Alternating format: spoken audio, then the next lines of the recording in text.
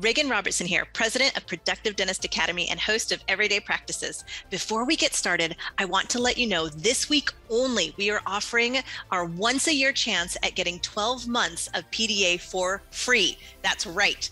Register for a 2022 productivity workshop, and you will receive 12 months of PDA on demand and a two hour one on one business advisory session with us. Not only does this save you over $3,000, but doctors that attend and use PDA on demand report doubling productivity in mere months. You can get yours this week if you sign up before December 3rd go to www.productivedentist.com slash cyber monday to access or call us directly at 1-800-757-6077 now let's get productive. Welcome to the everyday practices podcast i'm reagan robertson and my co host, Dr. Chad Johnson, and I are on a mission to share the stories of everyday dentists who generate extraordinary results using practical, proven methods you can take right into your own dental practice. If you're ready to elevate patient care and produce results that are anything but ordinary, buckle up and listen in.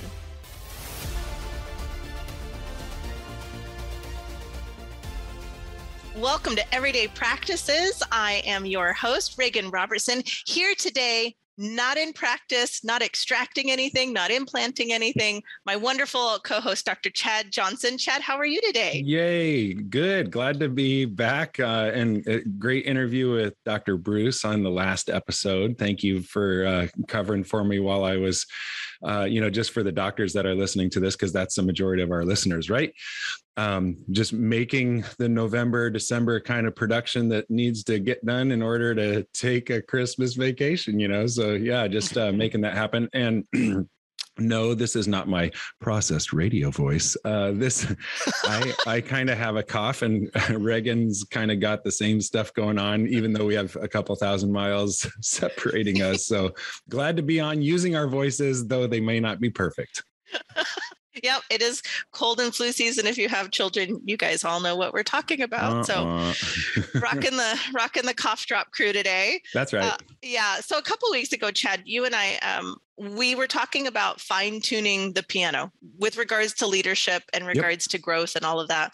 And the guest we have on today is a is really a special um, a special guest invitation for mm-hmm. that because of that that topic. And one of the things you know as business leaders, both of us ourselves, I really wanted to ask you first before we introduce our guest. From your perspective, why is it so important, Chad, for a dentist, specifically a dentist and business owner, to have um, a high level thinking partner, a strategic advisor as you grow your practice? You know, I just uh, came into the office this morning and was talking with a patient who's uh, who I've known for uh, 30ish years and um, so you know a good confidant of a kind of person not just your average patient that is just like hey you know see you later kind of stuff. I've known her. She's a good friend.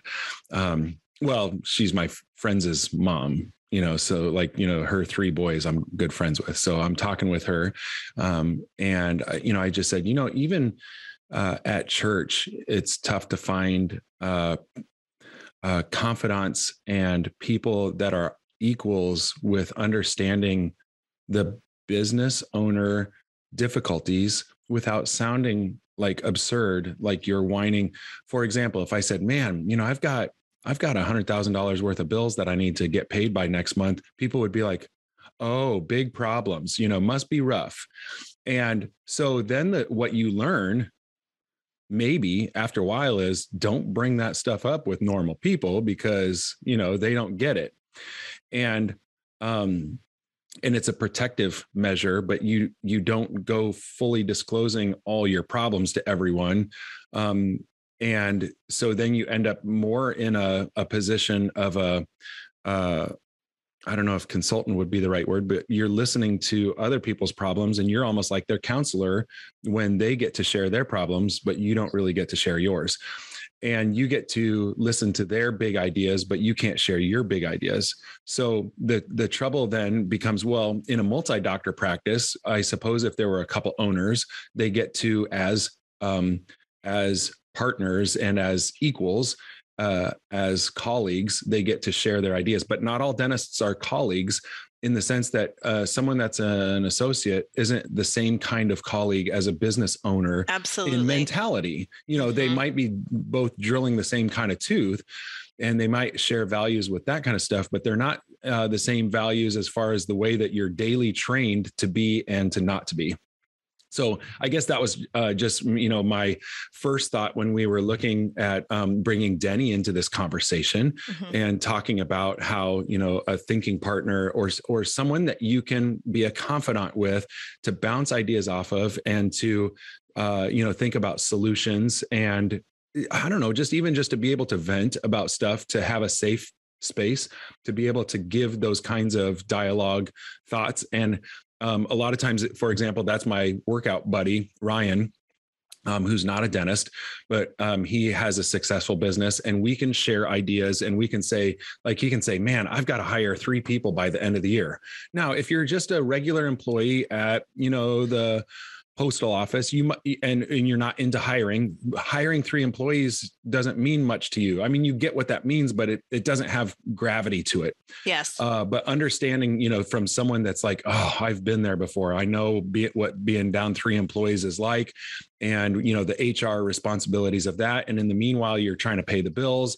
You know so few people get it. So having someone that is part of that pinnacle crowd that says i i hear you and I can, you know, think with you through it as opposed to, oh, well, it sucks to be you, Mr. Richie Pants. It's just like, that's not what it's this is about. You know, everyone has problems. Elon Musk has problems and he needs people that are over um, that are willing to overlook that they're not a billionaire, but they can still understand his problems. Yes. There, there we have it. okay. Why do you, you always blow my mind? You really do. I love how we can connect. That is exactly how I have been feeling lately. Um, you, you just reached in and kind of ex- you definitely described my own feelings as well. Like my friends don't want to hear about whatever business challenges yeah. I'm having or where I want to grow personally as a leader or where I want to Executive grow. Executive Reagan, they don't care about. They want yeah, to hear from they, Mama Reagan. Right. Exactly. Why would they care about that? And I actually, so my good friend, I even, I think I gave him a shout out at one of our all company wide meetings. Um, he's one of my best friends and he's the gentleman that is a general manager for vape shops of all yes. like totally obviously completely different industry than what I'm in. And he gets it. He is a fantastic strategic thinking partner because he he um, even though they're completely different challenges, he understands the business objectives and the business growth goals. And so it's really nice if I have um, if I have someone to go and say, I'm just kind of trying to work through this, can you think through this with me? That is right. exactly how I feel. And I'll tell you, this is a perfect segue in, into introducing Deni Hall. So Deni Hall is PDA's PDA uh, Director of Client Success. And when I met Deni Hall, gosh, I, a few months ago, three, four months ago, um, she blew me away immediately with this um, powerful and also graceful at the same time listening capacity and she brings in all of this other world experience on business in addition to healthcare. So there's the healthcare element of it but there's also this outside industry um, experience that that told me that not only would P, would PDA benefit PDA doctors would benefit from having Deni's expertise, but even at an executive level, um, PDA would benefit from her leadership and her guidance and her strategic thinking. So that is why we've invited you, Deni, to the show today. Welcome to Everyday Practices. How are you, Deni Hall? I am doing fantastic. Thank you so much for that great introduction. That was amazing. Thank you for having me on today. Yeah, absolutely. So I know, Deni, you have you have been in the um, corporate space. You've you've done um, Home Depot. You have been with um, uh, high end eyewear, so optometry. You've also been in dentistry. I bet there's a lot more that I don't even know. but looking across your great landscape and your years of experience, um, you know, with leadership, what are some of the what are the some of the benefits that you see to having a thinking partner, and how is how has that served you? In your lifetime? Well, I think when you are thinking about a thinking partner, I've always said one of the ways that I learn best is through arguing. And about half the population runs in the other direction. But I learned it when I was a very young leader that um, if I could argue with someone about a point, I would see it very differently than if I just used only the knowledge I had on, in my head. And it really goes to something that's called confirmation bias. And confirmation bias is really just the tendency uh, to believe the evidence that confirms our own beliefs, our pre existing beliefs. And then we discount any information that uh, comes across our, our threshold that doesn't agree with us.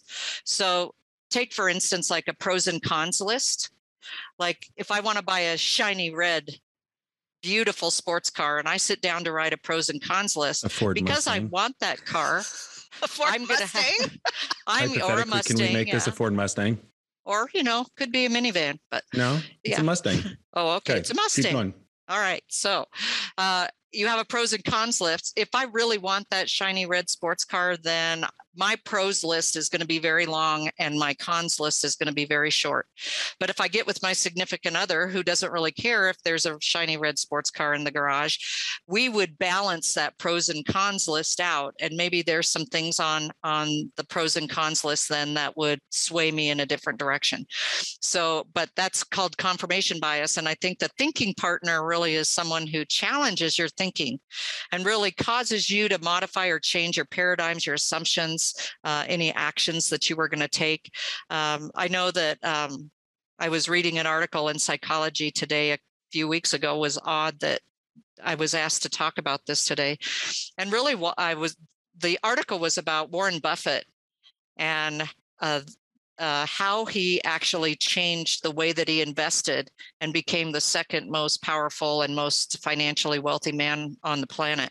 And it came from a thought partner, a thought partner that pushed him outside of what he was normally thinking and got him thinking in a different direction. So I love that you brought up Elon Musk because, you know, he probably has a whole bunch of crazy ideas and someone has to talk him down off the ledge every once in a while because he's you know he's going to do crazy stuff if he doesn't. So I think when we think about this in terms of dentistry, uh, you know, dentists are great at being dentists, and business people are great at being business people. And the combination of the two really creates um, a, a partnership that tests people's thinking patterns. People get into a way of thinking, and uh, coaches or consultants can actually push you outside of what you're most comfortable with and that would be uh, you know the information that you have in front of you mm-hmm. i think i'm understanding deni now the term when they say you know coaching isn't for everyone mm-hmm. getting consulting isn't for everyone but i really don't think i ever looked at it from the angle of perhaps some insecurity. So when I hear challenge, and I think that for me, that's the only way that I know how to operate. I assume probably from doing debate starting out as a eighth grader, I think I just expected that people are going to constantly be questioning um, methodologies and whatnot. But uh, you know, in that resisting how do you help people are you able to help people are we able on this show today to kind of help people if you're feeling that insecurity of i don't know that i want people to be questioning uh, you know my thought process is there any way to get over that kind of that fear that hump well, I think uh, repeated discomfort creates comfort. so I have to push myself into that place where I'm uncomfortable enough times that it becomes comfortable, and um, it's a mind it's a mindset. You know, it's a mindset. If I truly want to be the most successful in whatever I'm doing, mm-hmm. I have to be willing to step out there and be uncomfortable. And, you know, there's usually a set of people that are less likely to be, uh, you know, to be able to face that confirmation bias, their own. Um, they're insecure or they have anxiety issues or, you know, they're really sensitive to rejection and they don't want to be put into that social situation where my ideas are being tested. And so, you know the way that i would do it if i were having this conversation and i i can give you an example of that i had a boss and his name was paul eisen and he said to me deni do you have to argue about everything and i said I've gotten really comfortable with arguing. And Paul, it would be really nice if you would get comfortable with arguing because I think together, once we we we get our ideas together, they become so much stronger if we argue about it a little bit. And there are just people on earth that are never going to be comfortable with arguing. But I finally got him into the way of thinking of, you know what, let's discuss this. Let's let's have opposing views because that those opposing views are what's going to make the full idea really strong. And I know that you've heard it before, but it's not the one idea that actually creates the bigger idea, but it's the bringing up of that idea that gets someone to go down a different path of thinking. So parallel thinking is is important to think about when we're talking about this as well is that it isn't what you said it's what i thought about when you said it that gets me to move in a new direction so even if i, I like didn't that. understand what you were saying or i didn't agree with what you were saying it really makes me like a branch of a tree take a step down a different branch and maybe come up with a solution that's stronger because we had the disagreement or the argument about how it might be executed. So that's why I say it's just so important that that thinking partner not be someone like you. They shouldn't be someone exactly like you because if they're exactly like you, you'll never think any differently. So you've got to pull in thinking partners that have a different experience than you have, that have a different background than you have, that are different politically than you are, because they're going to bring that that what I call creative tension to the relationship. And it's in that creative tension where all of the creativity happens. It reminds me of Toby on The Office. And Toby, uh, the the HR manager? Yeah, I think that's what he was. because uh, Steve Carell, yeah, he'd always he'd be like, I've got a great idea. And you know, he's on a disc profile, probably in the I crowd um, ask me how I know. And yeah. and so he'd say, you know, hey, I've got a great idea. We're gonna have, you know, um, free cupcakes for everyone every day. And uh, then Toby says, yeah, I don't think that'll get approved because you know some people might have allergies to the stuff that you put in the muffins. And Steve Carell's character, I Michael Scott, he'd be like, Toby, you ruin everything, you know. And, and, it was the idea that it's just like, I hate not having someone to confirm what I want to hear. And yet, you know, having that that quintessential HR person to be like, yeah, I don't think we can do that because, you know, this and that. As much as the I person doesn't want that, it's just like, well, it's probably necessary to some degree in some relationship if you're willing to. Uh, because you can still have the cupcakes, but find a way to be like, well, maybe we should have a consent form. Maybe we could, you know, offer non-gluten, you know, like gluten-free cupcakes for those people, you know, and and then at the end, at, in the end, you've got a fusion of the thesis, antithesis, and then the um, what what do they call the the uh, re- resolution of that? You know, like the fusion mm-hmm. of those two ideas. I love it.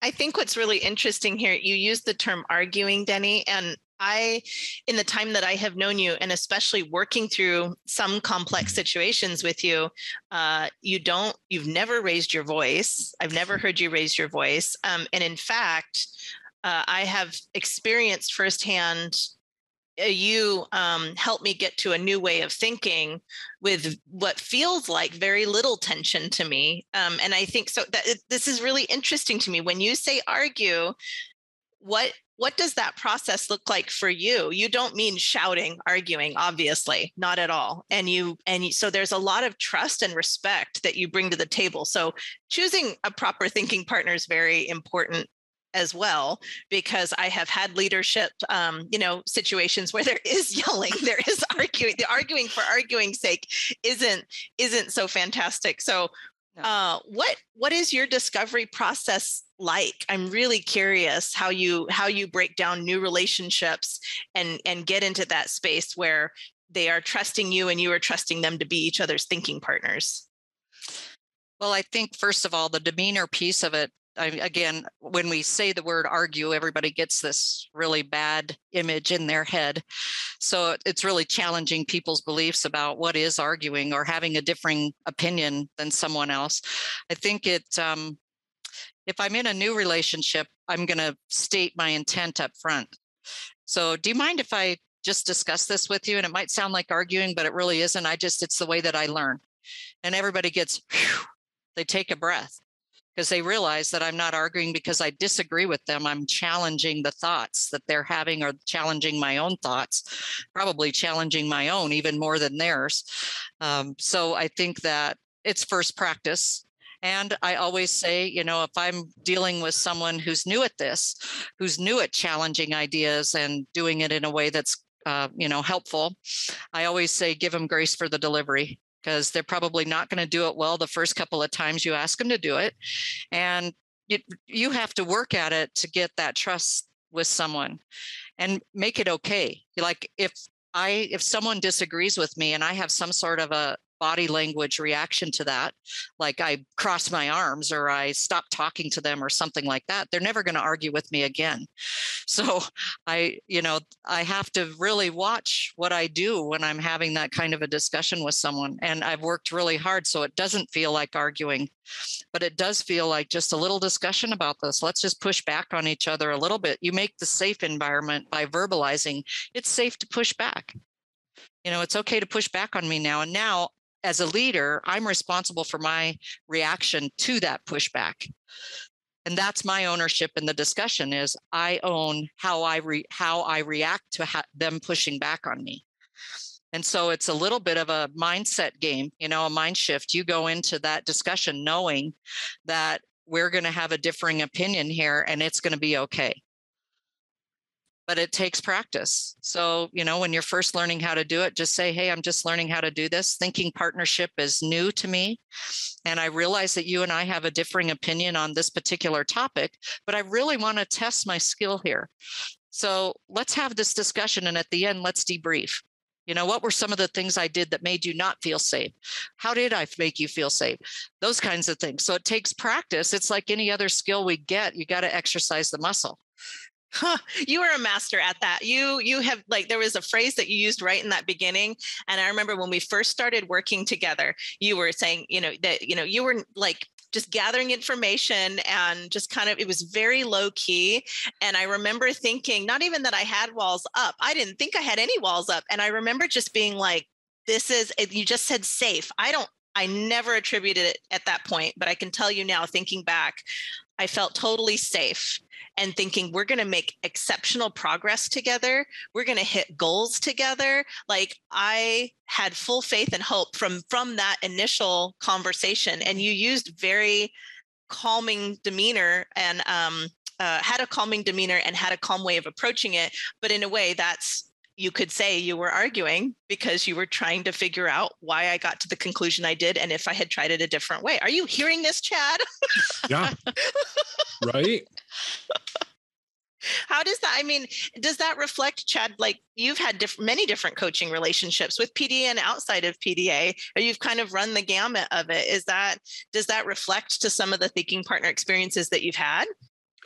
As I've switched recently um, to having Joanne coach, um, as Carrie's kind of taken a different position within PDA, and um, it's neat to see uh, Joanne figure out how to challenge me in a fresh way, and I've been excited about that. Actually, like I've been um, anticipating. I think um, she's still new enough to me, or I should say, I'm new enough to her that she's trying to figure out like is this guy gonna be willing to accept some criticism you know or like you know to have fresh eyes say hey this is garbage. You need to change you know?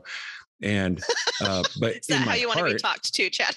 This right? is garbage. No, you need to change right. that's the gist of it. Right. But in my heart i i am. I'm willing to uh you know to have a fresh set of eyes to um uh, have someone say you know i've i've thought about uh you know your your problem and you're just uh you know like you think there's only these two solutions um what what about this third solution and waiting it out while i might say oh, i don't like that but in the end i'm just like no i'm glad to hear a third solution to the the issue and uh uh, so having a, a, fresh perspective on it, yes. So um, ever since we were looking to that change, I think a lot of people would have been like, "Oh no, I like who I'm working with," and and you know I'm not quite sure. And of course that's true, um, but I thought it would be uh, advantageous to myself and to everyone in the office to have someone say, "Wait a second, Carrie might have."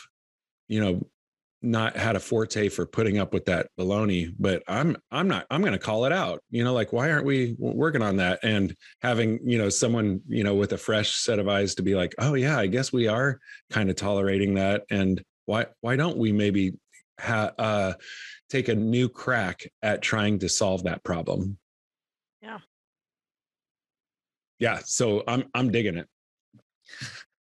So, Deni, having worked with lots of different business owners in different industries, including dentistry, what are there? Are there some things that surprise people that you've seen when they finally reach out and say, "I'm I'm ready for coaching, consulting, a thinking partner, anything like that?" Is there anything that you think surprises them along the way? Are you asking during the process or during and after? I would say during and and the results that they get. Well, I think you know, I think people who are truly in a mutually beneficial thinking partnership, which I believe our coaches are.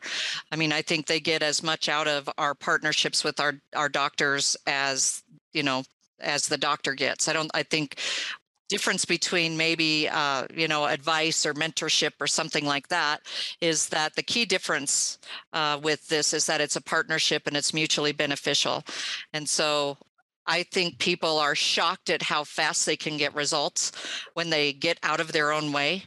And what I mean by that is if they can just take their ego and set it on the shelf for a minute, sometimes what comes after that, if I can just set it aside and just go, maybe, maybe if I listen carefully here, I'm going to pick up the one piece I was missing.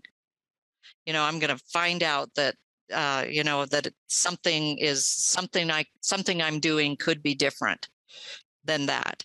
And, uh, you know, I mean, we just spent two days working with our coaches on uh, basically presenting their results. So we went through every single client and we talked about, uh, you know, what were some of the challenges that they were having, what were some of the successes, and um, you know, despite the fact that we have a ten to one return, so you hand me a dollar, I hand you ten. When you go through our coaching, there's still challenges and there's still these thought partnership needs. You know, we talked a lot about the stress that doctors are having and you know if they would you know get into some thought partnership around that. I mean i don't know if we didn't talk about a single client that we have that doesn't have stress and that you know has lack of commitment sometimes. But you don't often see that in yourself. You don't always see that you have a lack of commitment or that that you're not moving as quickly as you could.